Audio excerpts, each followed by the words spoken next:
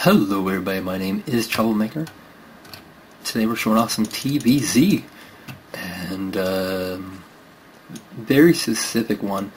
And I get this build, um, probably, uh, say if I do 100 TVZs in a day, I usually do about, say, 50 TVZs in a day. But Say I do 100, about 65 of them will be this style play. And what it is, it's low econ, high aggression, Zerg style.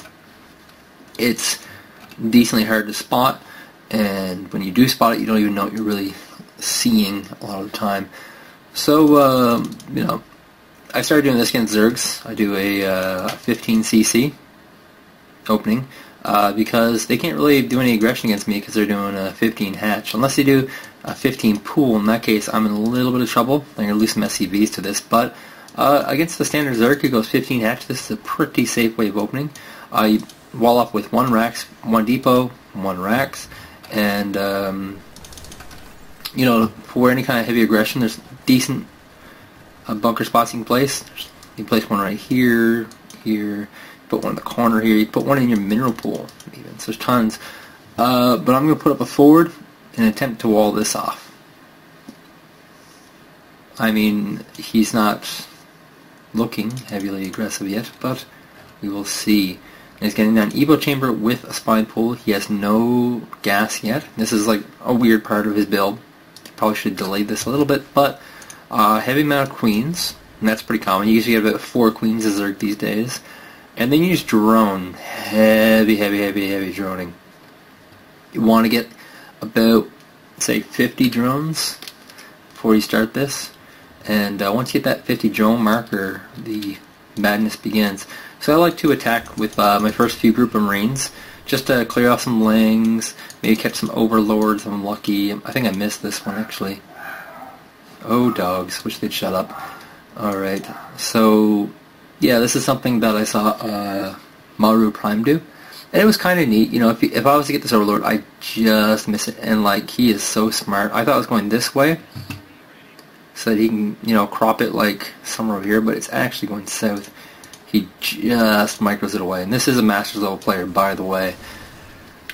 So, uh, you know, he's starting to make some lings. He's at about 27 uh, drones. I don't know if he's going to be droning again behind this, but we'll see. Looks, yeah, looks like he is. These are just defensive drones to, to fend off any uh, big pushes. And uh, so what we saw is that he hasn't taken his third. That's uh, kind of sends signals off. If he doesn't take his third, that means he's probably getting gases. And seeing as I did a 15 CC, you'll probably want to attack me. Because otherwise he'll get behind. Like, just massively behind, you know. And by massively, I mean like one SCV with mules, which is pretty far behind. God, those ducks are loud. Uh, right now I have more gas in him, but that'll change soon. I'm laying down a few more Raxes and a command center. We're going to do a third expansion and uh, we're going to have lots of Raxes. You have to beat this. You kind of have to lay down this other command center because um, basically he'll just continue pounding you and just sliding a few drones here and there and getting ahead. So you have to be able to like lay down a command center and secure it. So we're gonna speed ahead. Uh, let's see. What what drone number does he stop on before he does this high econ aggression? I think he should be around 50. 50 is usually where you want to go. And actually, yeah, he's got a second Evo chamber, and this is also a big part of this. You get double Evo chamber, you start on double upgrades. You get a very delayed Baneling Nest. He's actually got three Evo chambers. He actually forgot he built this one, because it was early. I, I, knew it was early, and a lot of people do this. They actually accidentally build like extras, and so yeah, his aggression starts at around 50, and he's going to get this third hatch. This is basically for macro, as in like building lots of lings and uh, banelings, and not for droning. He'll drone that later, but for now it's just for lings and banes. So he's getting plus one armor, plus one damage. Big part of this. He's got his lair tech. He's going to get the Rolly upgrade eventually. Uh, he's getting Infestation Pit. I don't know about this yet. This is really late or early Infestation Pits for this build. Usually the Infestation Pit you get for 3-3 um, upgrades and you just continue with this Ling Bane aggression. And it's actually pretty brutal. So right now this is not a defensible position lay down some mules, and here comes the big aggression. Lowigan. Well, actually, I got the, he's got 41 drones. Oops.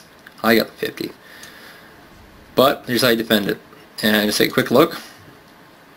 I have a bunker here behind this. And this is if he was just run on by. He I'd snipe some extras. A lot of people like to do, they just run on through all this. Decent distance apart. You don't want banelings hitting multiple. And um, you know, eventually you'll just bunker here and bunker here, maybe even bunker like right here. And that's kind of how you just beat this. Just lots of bunkers. The second you you don't skip a third, right here, you start gotta start thinking like, uh, he's up to something. He's up to something. Here it comes. The up to something has come. I try to wall this off because I'm thinking like, well, you know, if I get this wall off, that's huge with an extra bunker. Lifting off the command center. I'm getting a lot of Banes. That's awesome. Microing back, killing a lot more Banes. Really cost-efficient trading. He doesn't have any Banes now. So now it's just 1-1 Lings, which are still, you know, no laughing matter. They're still pretty good. And, uh, you know, disaster averted. Bunkers save the day. I don't know. Get out siege tanks. Get out Double Factory. So you should have four gas by this point. And lay down your command center again and get more gas. Because you're not you're getting two factory tanks, you're getting lots of marines with upgrades. Sure to get the combat shields. And uh, you're getting the one one upgrades. And you're gonna and eventually, you know, lay down an armory, lay down an engineering bay, get even further ahead on those upgrades. And, you know, he's gonna drone again. He was at the right number. 50 is the key number. Once you get 50 drones, you just go relentless. This pushing his creep, smart player, getting lots of drones, getting lots of lings. I look at the production, like 50, like is just such a magical number. Because once you get 50, you can do a lot of stuff. He's got a lot of queens too. He's got, see, he's four, five, six, seven queens. So this guy's gonna have crazy creep spread and like being able to defeat most early pushes. So we got a bunker here. It's not filled yet. Lots of idle SCVs, oh no. And he's going for 2-2, which is good because I'm basically going to start my 2-2 as well. And there comes the Banelings and the Lings. The goal of these attacks is to uh, just stop this from mining, kill off all these SCVs. Stop this from mining, kill off all these SCVs. If he can kill off all these SCVs, that's huge for him, and I'm pretty sure he does, yeah. And here's a little funnel I created using buildings. Got siege tanks coming in, uh, and it's not going to be very cost effective for him at all. Um, you know, actually, he is trading pretty cost effectively now I look at it. It's because all these SCV kills actually is like what's getting in here. And, you know, like, it's actually pretty decent. He got me back down to 49, so we're back down equal number of Power Stars. And what's he doing behind this? 42 Lings. Non-stop aggression. 50 is such a great number. But we have lots of Siege Tanks. Siege Tanks basically shut this down. And the reason why this works against most players is because um, siege tanks are not that common when you see this kind of marine heavy build stuff. Usually people are more likely to get medevacs. And even at pro level, like this is kind of the case. They're heavy, heavy marine. You don't see a lot of two factory tanks. And this kind of shuts us down. Um, if you want to see someone who does like insanely good low econ aggression, um, Linok Foyu is insanely, he just kills with it.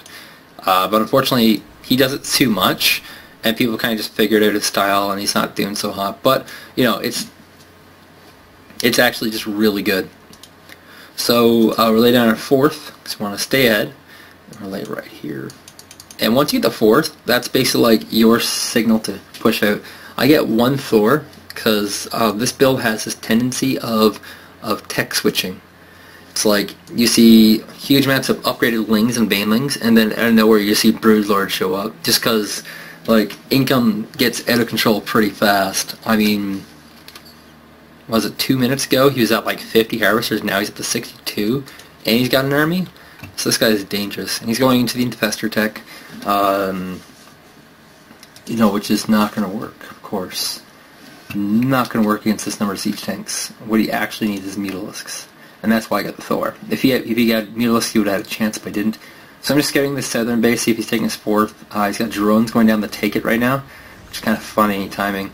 And uh, you know he's got a lot of Banes coming down, but not really enough to deal with this uh, ball. Oh no, don't use your Banes on the siege tanks. You notice like how my uh, siege tanks are kind of like spinning around like that? It's because um, I'm actually using them to target specific banelings, and if you target specifically banelings, you're pretty set.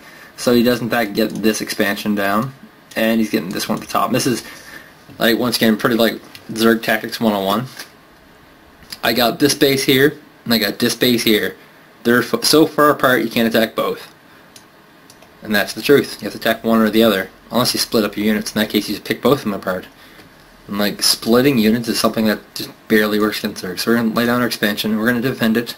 We're going to take our big Thor ball, which is not exactly the most useful composition right now, to deal with this very small army. This is act like it looks a little bigger than it is. And you got one fungal. That is nice. He might get all these. I think he does get all these SCVs. But I, I'm actually just massively ahead right now, just, you know, and then these SCVs die, and suddenly uh, I'm still ahead in the game. I'm just less SCVs. Just because my army composition is so friggin' huge. Thor's course uh, cannot be fungal.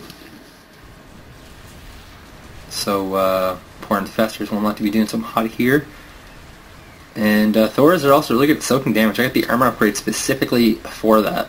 Uh, I want them taking damage. He's lost all of his festers. Oh no. This is not looking good. And, uh, you know, just speeding along here, just turn into a normal game. Um, I'm keeping these bunkers up. They're not worth salvaging. My minerals are quite high. Keeping that bunker up. Not worth salvaging. They're not, it's just, they're good as is. I, I don't need this many siege tanks here. I think eventually I'll actually, yeah, on siege heavy tanks. I only need like one siege tank here. But you do want to keep your corners covered. One bunker, one siege tank will hold off quite a bit and will trade quite cost effectively. And I was going to do the standard kind of Terran thing. We run in with a blob of units. Um, you know, we know infestors on the map, so we're going to spread our units pretty effectively. Just smaller blobs than usual. Keep your tanks re- relatively in the middle so that uh, they can't get flanked by anything like Mutalisk or um, Mass Zergling. And just spread the Marines out a little bit so that if infestors are on the map, which they are in fact not on the map, right now. Are they infestors? No, there's no infestors. It's actually entirely like Ultra Ling, which is becoming more and more popular. He's got the 2-2 upgrades to my my 2-2 upgrades. Oh, I got 3-3 on the way, that's why. And I got plus 2 armor for my tanks coming in. Crushes through all of my Thors. And uh, now, he only, now he has is Queens. And, you know, transfuse are good, but he doesn't have the upgrades for that. And I, I push back. I want I want to reinforce. I do have another blob of units coming in. Another blob here. Uh, medevacs are good. I could probably use a few command centers right now. Uh, not command center, You know, like all command centers and barracks. Like two command centers and a barracks. One command center goes here. One stays as like a macro mule drop. And then I just cut down my SCVs.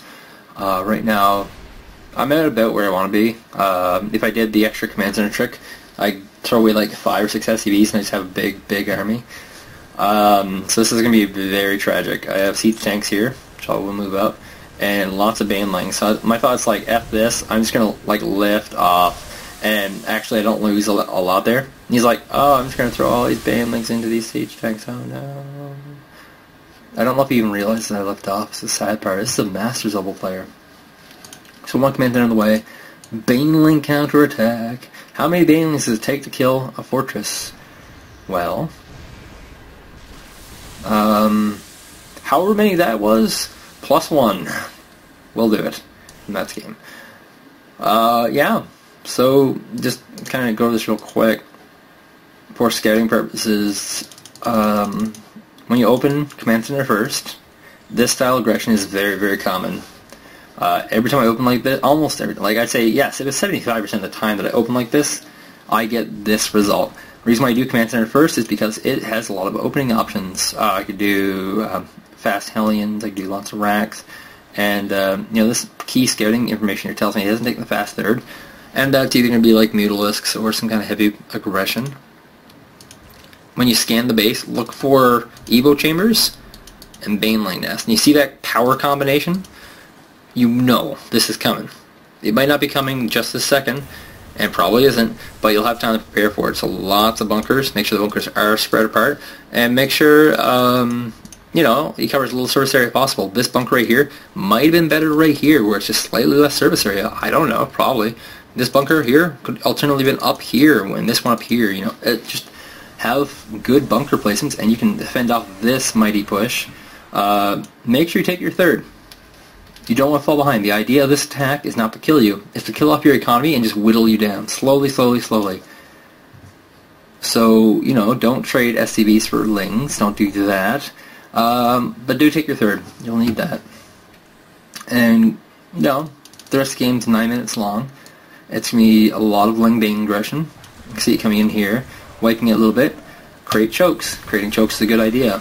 Uh, I wouldn't do it necessarily like this, but um, have something. You know, at this point, the units lost are about even. So don't think you're so massively ahead just because you're killing off a bunch of lings. This is not the design of the build. The build is designed to hit your economy, and it works quite well. And you can see, like, you know, at this point, he's pretty free to drone. He has all the tech he needs because he has this infestation pit. He's got a lair tech coming in. So this build is very, very, very safe against Command Center First.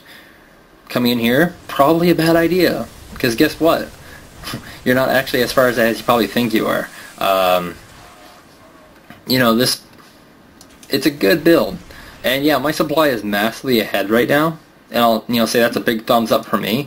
But, um, infestors and banelings are the sort of unit where like if you use them right they can change that supply differential pretty heavily. And yeah that's really all I gotta say about this particular build. Um, best of luck good hunting have fun